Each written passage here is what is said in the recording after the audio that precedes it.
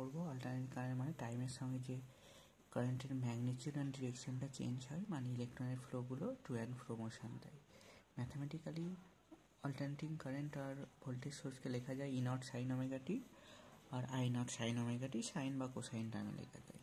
Omega ওমেগাটা হলো angular frequency alternating current পড়তে গিয়ে যে দুটো টার্ম আমরা বারবার দেখব, সে দুটো হলো average value of current R RMS value RMS mean root mean square average কেন পড়ব? কারণ টাইমের সঙ্গে বারবার কারেন্টটা চেঞ্জ হচ্ছে সেই জন্য অ্যাভারেজ আমাদের দরকার। অ্যাভারেজটা আমরা বের করি।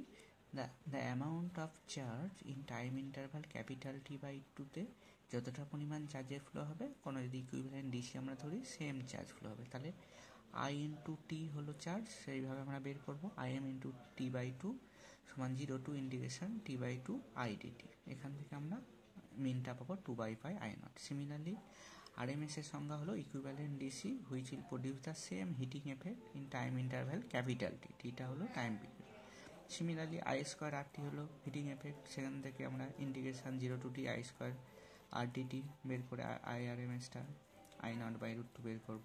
ফর্ম ফ্যাক্টর হলো এই আর ভ্যালু আর মিন কারেন্টের রেশিও সেটা আমরা এই কেসে দেখতে পাচ্ছি ওয়ান পয়েন্ট ওয়ান ওয়ান হচ্ছে এরপর আমরা দেখব সার্কিট অ্যানালাইসিস সার্কিট অ্যানালাইসিস সার্কিটে কী কী হতে পারে? বিভিন্ন সার্কিট এলিমেন্ট থাকতে পারে, যেমন আমাদের রেজিস্ট্যান্স ক্যাপাসিট্যান্স ইন্ডাক্টর এখানে আমরা এই তিনটি পড়ব। যদি কোনো সার্কিটে শুধু একটি রেজিস্ট্যান্স থাকে, তাহলে আমরা ভোল্টেজ আর কারেন্টের ফেজ রিলেশনশিপটি দেখব। তাহলে ভোল্টেজ সোর্সকে যদি আমরা ধরে নিই ই নট সাইন ওমেগাটি তাহলে একটা সার্কিট দিয়ে কারেন্ট যদি আই ফ্লো হয়, তাহলে আর এর এগেনস্টে ইনডিউসড ইএমএফ তৈরি হবে কত? আই ইন্টু আর তাহলে আই ইকল টু হবে ই বাই আর সেখান থেকে আমরা দেখছি ইয়েরও যা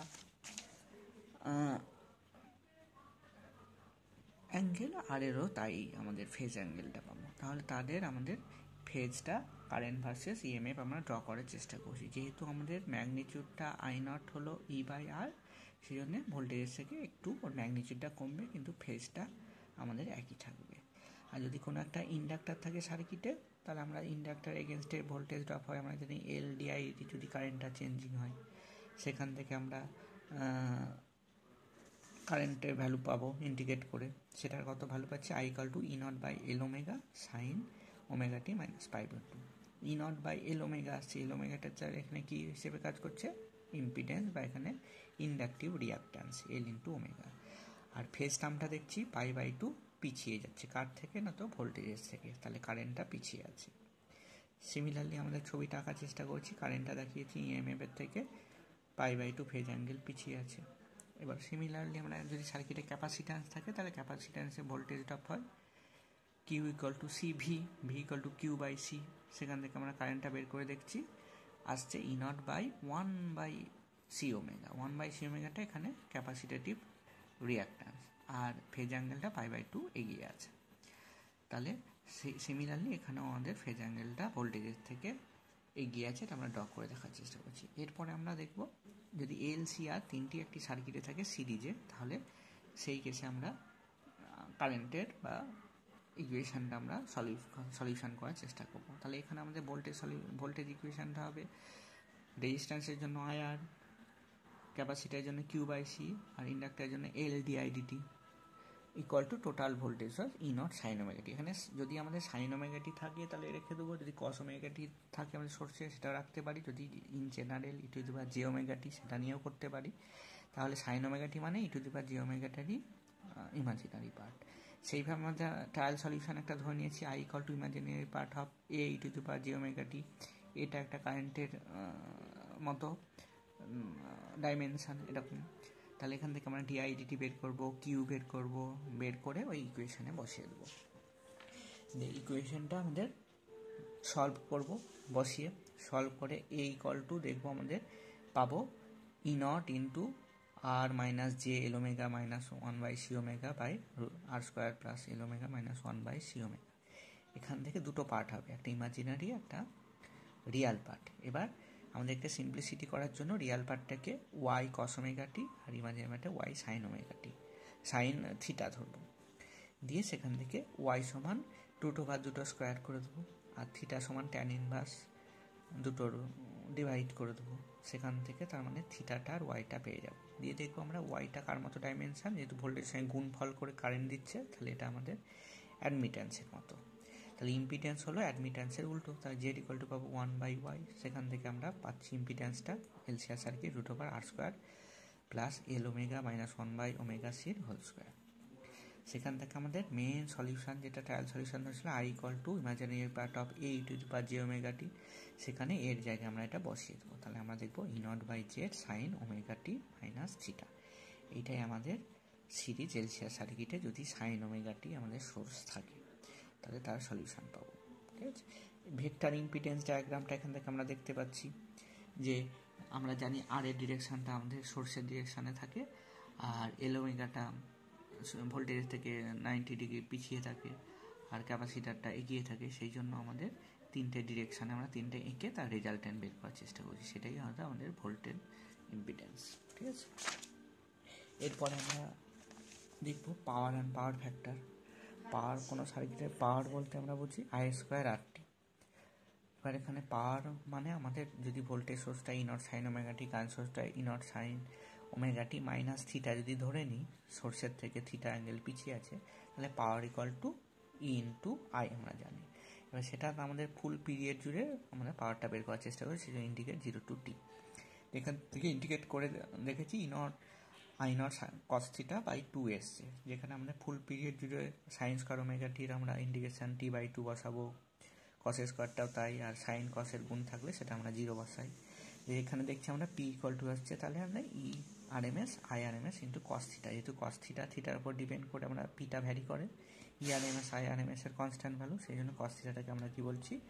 পাওয়ার ফ্যাক্টর এর জন্য কস ম্যাক্সিমাম ওয়ান হতে পারে, তখন পাওয়ার ম্যাক্সিমাম যখন জিরো তখন পাওয়ার মিনিমাম কিছু স্পেশাল কেস আছে সেখানে আমরা দেখেছি ট্যান থিটা সমান L omega minus one by C omega by R সেখান থেকে আমরা কস থিটা বের করতে পারি। এবার কস থিটার ম্যাক্সিমাম ভ্যালু আমরা পেতে পারি ওয়ান মিনিমাম ভ্যালু জিরো বা জিরো কখন পাবো, তার এই কেস ওয়ান টু করে কন্ডিশানগুলো দেখানো হয়েছে। জিরো যখন পাবো, তখন নিশ্চয়ই আর সমান জিরো থিটা সমান তখন পাই বাই টু হবে।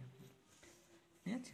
সার্কিটে যখন আমাদের একটা শুধু ইন্ডাক্টার রেজিস্ট্যান্স থাকবে, তখন আমাদের থিটাটা হবে tan inverse L omega by R cos theta সেখান থেকে বের করব, সেখান থেকে পাওয়ারটা দেখব ইনর square by R by two into R square plus L square omega square maximum পাওয়ারটাই আমরা করতে পারি আর এর সাপেক্ষে ডেরিভেটিভ করে জিরো করব, যে আর এর যে ভ্যালুর জন্য ওটা পাবো আর এর সমান এল ওমেগা তার জন্য দেখব পাওয়ারটা ম্যাক্সিমাম আসছে। ঠিক আছে? পাওয়ার ডিসিপেশনটা আমরা দেখব আর এর এগেনস্টেই ম্যাক্সিমাম হবে, সেই জন্য আমরা ম্যাক্সিমাম পাওয়ারটাই আমরা জানি আর এর এগেনস্টে ডেলিভার হয়। মানে রেজিস্ট্যান্স থাকলে তবেই পাওয়ারটা ডিসিপেটেড হবে। চোখ কয়েল বলতে আমরা বলব, একটা ইন্ডাক্টার পিওর কন্ডাক্টার দিয়ে তৈরি, যার কোনো রেজিস্ট্যান্স থাকবে না পিওর ওহমিক রেজিস্ট্যান্স যার জন্য কোনো ওহমিক লস হবে না। কিন্তু তা আমরা জানি ইন্ডাক্টার ইন্ডাকটিভ রিয়াক্ট্যান্স থাকে, তার জন্য আমরা ওটা বিভিন্ন পারপাসে ইউজ করতেই পারি। এটা একটা সুবিধে চোখ কয়েলের এলসিআর সার্কিটের রেজোনেন্স গ্রাফটা যদি আমরা ড্র করি কারেন্ট ভার্সেস ফ্রিকোয়েন্সি আমরা দেখব একটা পার্টিকুলার ফ্রিকোয়েন্সিতে ম্যাক্সিমাম কারেন্ট পাবো, তারপরে আবার ড্রপ করতে থাকবে। এই ম্যাক্সিমাম কারেন্ট যে ফ্রিকোয়েন্সি পাই তাকে বলে রেজোনেন্স ফ্রিকোয়েন্সি ম্যাক্সিমাম কারেন্টের রুট টু ভাগ মানে আইআরএমএস কারেন্ট যে ফ্রিকোয়েন্সি দুটো কাট করে, তাকে বলে half power frequency because half power ফ্রিকোয়েন্সিতে আমরা দেখব পাওয়ারটা ম্যাক্সিমাম পাওয়ারের হাফ হবে। ম্যাক্সিমাম পাওয়ার যদি পি নট হয়, ওই পজিশনে পাওয়ার হবে পি নট বাই টু ঠিক আছে? এই দুটো ডিফারেন্সকে আমরা বলি ব্যান্ডউইথ আইডিয়াল বা ওয়াটলেস কারেন্ট বলতে কি বুঝি? আমরা দেখব যদি একটা ভোল্টেজ সোর্স ই থাকে আর একটা কারেন্ট সোর্স আই আই থাকে আইটা যদি আমাদের ভোল্টেজ সোর্সের থেকে থিটা অ্যাঙ্গেল করে থাকে, তাহলে আমাদের ভোল্টেজ সোর্সের দিকে কারেন্টের কম্পোনেন্টটা ই কস আই কস থিটা আর তার পারপেন্ডিকুলার দিকে আই সাইন থিটা তাহলে আমরা দুটো কম্পোনেন্ট আমরা ভাববো। এবার আই ইকুয়াল টু যদি ধরে নিই আই নট সাইন ওমেগাটি তাহলে একটা কম্পোনেন্ট আই ওয়ান সেটা হলো I naught sine omega t cos theta একটা হলো I naught sine omega t minus pi by two যেহেতু পাই বাই টু অ্যাঙ্গেল পিছিয়ে থাকবে ইন্টু সাইন থিটা এবার আমরা দুটো কম্পোনেন্টের জন্য পাওয়ার বের করার চেষ্টা করব। ফুল পিরিয়ড জুড়ে বলতে জিরো টু টি এবার যেহেতু এখানে আমরা ওমেগা টি সমান আলফা ধরে নিয়েছি, তাহলে আমাদের এখানে ইন্ডিকেশন লিমিটটা হয়ে যাবে জিরো টু টু পাই তাহলে দেখব একটি কারেন্ট কম্পোনেন্ট মানে কস্থিটার দিকটা কারেন্ট কম্পোনেন্ট আমরা দেখব বের করে কি হচ্ছে, আর সিমিলারলি সাইন থিটার দিকটা আমরা বের করে দেখব কি হচ্ছে। দেখব একটা কম্পোনেন্ট আমাদের জিরো হবে, একটা কম্পোনেন্ট আমাদের থাকবে। তাহলে আমরা দেখব যে কম্পোনেন্টটার জন্য আমরা কোনো পাওয়ার পাবো না, সেটাকে আমরা বলব ওয়ার্ডলেস কারেন্ট আর যে কম্পোনেন্টের জন্য আমরা পাওয়ার পাবো সেটাকে আমরা বলব মেন পাওয়ারের জন্য রেসপন্সিবল